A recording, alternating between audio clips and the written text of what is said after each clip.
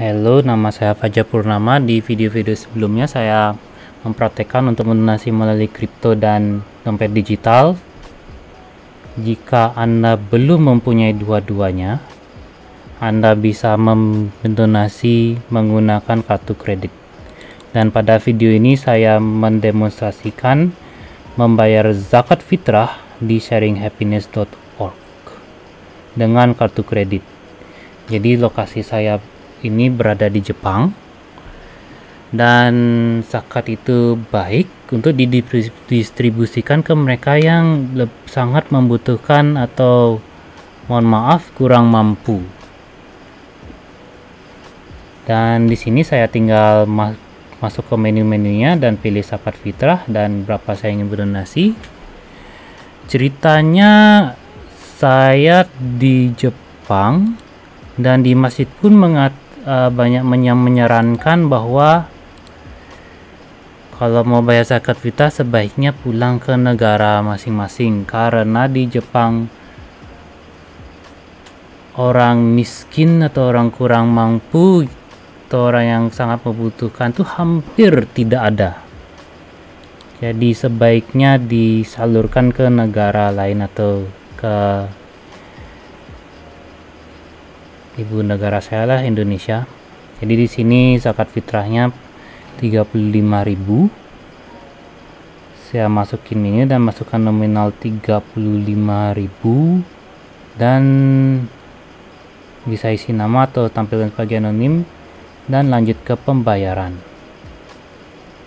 Jadi bisa transfer bank ada GoPay dan dompet lain tapi di sini kali ini saya akan mendemonstrasikan dengan kartu kredit. Jadi tinggal lanjut ke pembayaran.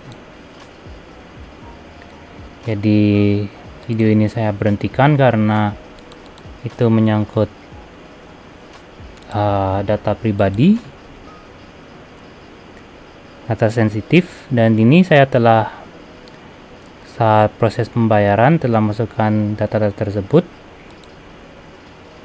dan di si video ini menunjukkan bahwa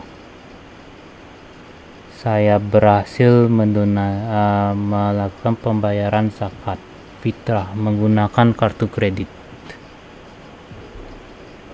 Sebelum saya menutup video ini saya ingin memberitahu bahwa saya adalah pencipta cryptocurrency Bitcoin, Ethereum, dan lain-lain dan saya harap satu saat ada layanan untuk membayar membayar zakat dengan kripto dengan kurs kripto. Mungkin itu bahasa Indonesia Indonesia cryptocurrency ya. Yang saya tahu saat ini saya googling saya tanya Mbah Google kalau ada masjid di Inggris yang menerima pembayaran zakat dengan Bitcoin. Selain itu tidak ada sih dan online pun tidak ada belum saya temukan. Jadi saya harap satu saat pembayaran dengan cryptocurrency itu uh, pembayaran zakat dan kripto kurs kripto bisa diadakan.